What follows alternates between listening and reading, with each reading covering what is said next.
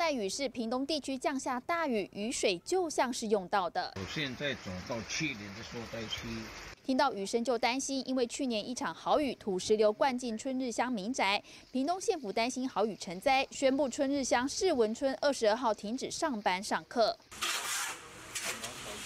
至于国军帮忙装沙包进驻嘉东林边低洼地区防灾，还有旗山的荔枝农抢在大雨前抢收。下大雨之后会有很多的问题，例如说下大雨完之后出了大太阳，会让我们荔枝熟成的更快速。而在海面上，海巡舰艇也急忙开到鹅銮鼻外海接驳一名身体不适的外籍渔工。由于海象不佳，最后还请求空勤队支援吊挂，将男子平安后送。这波封面这两天在南部将会带来强降雨，民众必须做好防灾准备。大爱新闻南部综合报道。好，全面待命的还包括了气象局召开了今年第一次的大规模或剧烈。